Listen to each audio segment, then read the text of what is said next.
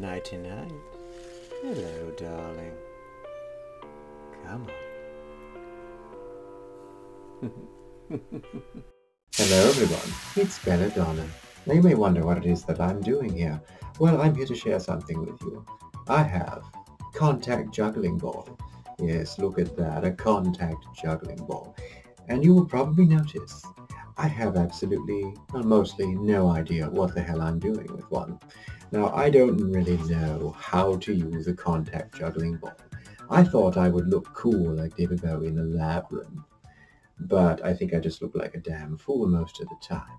You see, I took up contact juggling in order to stop smoking. I used to smoke quite a bit.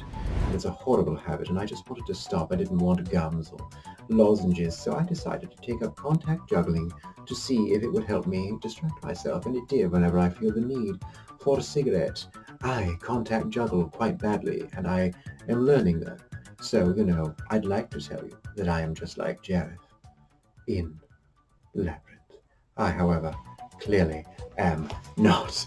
So, I am doing my best, learning all that I can, doing it likely wrong mostly. People will probably laugh at me. And you know, I still think that you have to keep up, practice, and do the best that you can, even if you're just catching or dropping it. Excuse me. Alright, so that didn't work out so well. It rolled so well or not. Don't laugh at me. Stop laughing at me, Madam Weeds. Right. So, like you do it. Grow some thumbs. Mm-hmm. Put you right in your place. So we're going to try the smaller ball. Oh, they're all scuffed up. Can't imagine why. We tried the smaller one though, the clear one, just like in the film, right? And we're going, and we're going, and we're dropping, and we're dropping, and catching them. And we're going, and we're going, and we're going. We look really stupid. I am never going to master the damn thing. All right, we'll pretend that didn't happen. Shut up. I hear you laughing over there. All right. Here we go. The black ball. I got a black one because I thought, oh, it matches everything and it looks so cool. And I could just do neat things if I ever actually learn how to do this. Unfortunately, it's a bigger one, also scuffed up. Hmm. But let's just try. Here we go. Keep your eye on the freaking ball and try not to kill anyone in the process. Yes, I know that I am not really doing this correctly, but if I keep talking, and maybe I'll distract you from how badly I am doing it. And the thing is, all you have to do is keep trying. The point is not that to show you how cool I am contact juggling as though I know what I'm doing, as I clearly do not, as Madam Weeds likes to point out. But the thing is, no matter what, you have to keep trying. You have to learn and practice. Sometimes do things that are difficult. Be frustrated. Be annoyed. Do badly. Break things. Maybe. Excuse me. Just take that one again. I got it. But you never give up. You never surrender. Always keep your eye on the ball.